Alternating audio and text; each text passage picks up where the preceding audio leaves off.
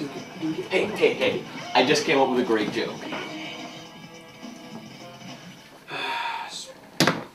Go. Okay, so if your girlfriend breaks up with you, and subsequently you have to live with your pessimistic Aunt Beatrice and her twin in an angular apartment, and the, the apartment is a 3A, uh, and all four of the air conditioner units are broken, what do you have? What, what does it cost for your girlfriend to break up with you?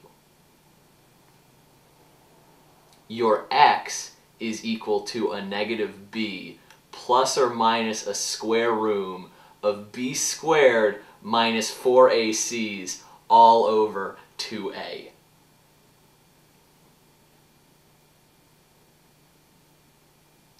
Fuck you, Ari.